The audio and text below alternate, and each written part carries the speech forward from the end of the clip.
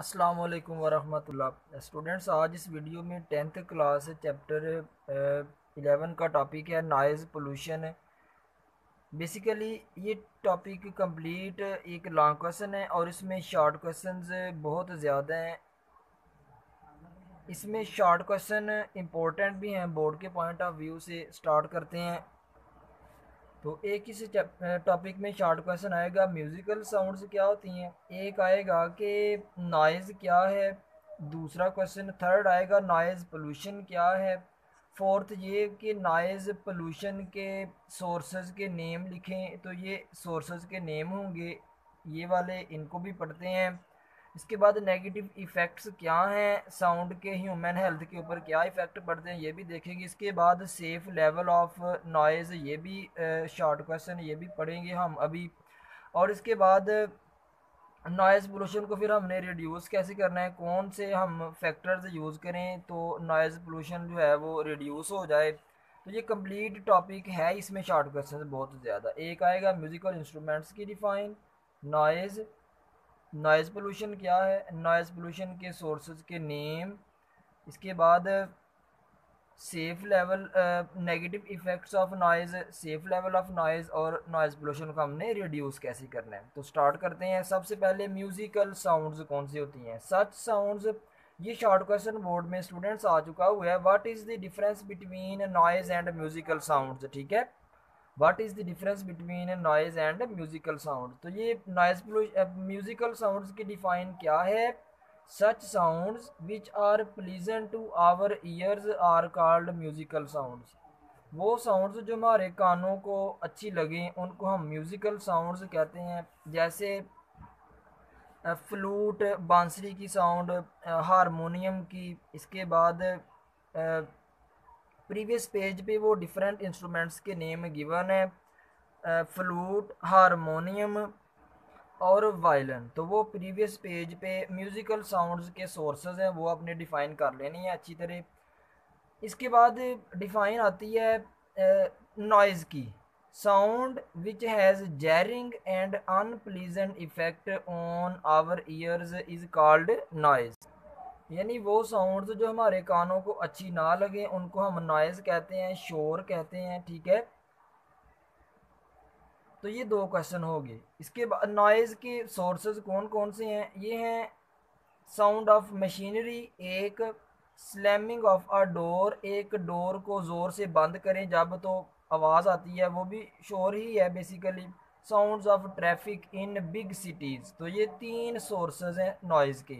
Musical sounds के sources देखिए noise के सोर्सेज देखिए नॉइज़ पोल्यूशन क्या है?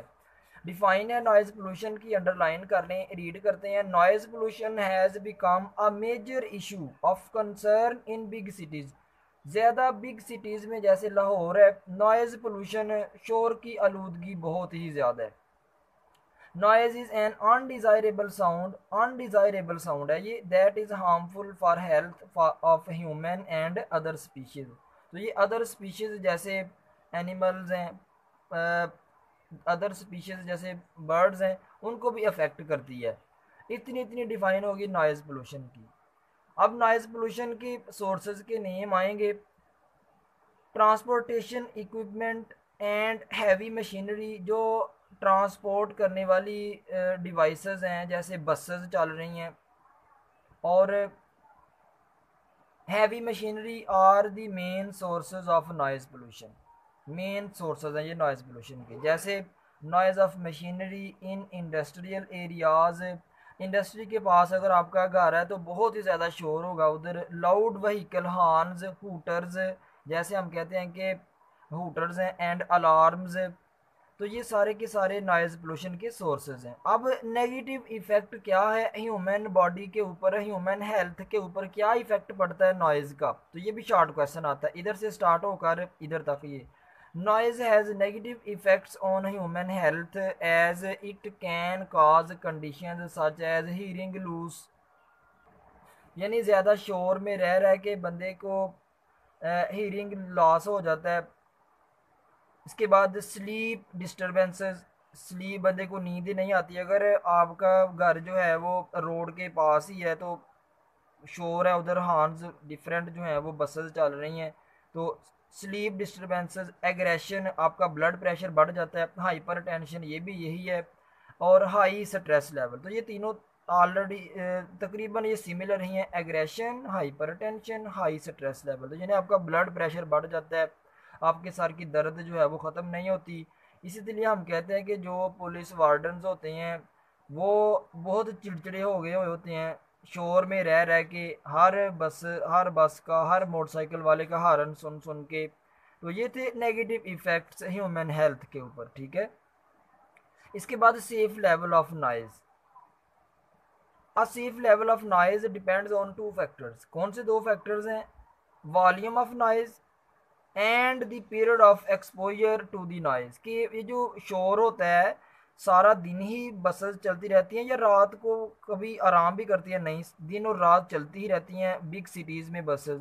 लेकिन अदर कंट्रीज़ में, पाकिस्तान के अलावा the level of noise recommended in most countries is usually 85 to 90 decibel वो जो साउंड इंटेंसिटी लेवल है डिफरेंट कंट्रीज़ में वो इतना रखा होता है 85 से 90 डीबी और साउंड इंटेंसिटी लेवल को प्रीवियस से डिफाइन कर चुके हुए हैं।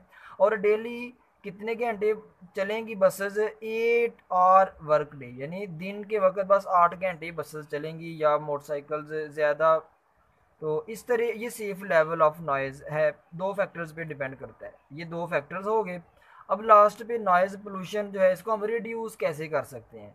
Noise pollution can be reduced to acceptable level by replacing the noisy machinery with environment friendly machinery. यानी नॉइजी मशीनरी को छोड़ के जैसे पुराने रिक्शे होते थे, उनकी बहुत ही ज़्यादा आवाज़ आती थी, जिस तरह यामा मोटरसाइकिल है, उसकी बहुत ज़्यादा आवाज़ आती थी। अब तो हुडा सेवेंटी है और रिक्शे भी आज के दौर में बहुत आवाज़ ही नहीं आती, रिक्शों के इतने अच्छे रिक्शे आए हैं।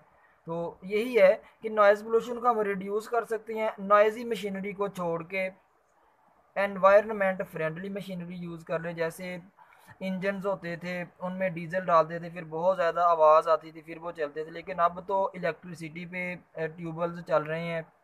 तो यही है कि नॉइजी मशीनरी छोड़ के एनवायरनमेंट फ्रेंडली मशीनरी यूज़ करें। एंड इक्विपमेंट्स या वो डिवाइस यूज़ करें putting sound reducing barriers or using hearing protection devices ठीक है? तो ये था स्टूडेंट्स हमारा टॉपिक ये एक्टिविटी है, इसको करने की ज़रूरत नहीं है।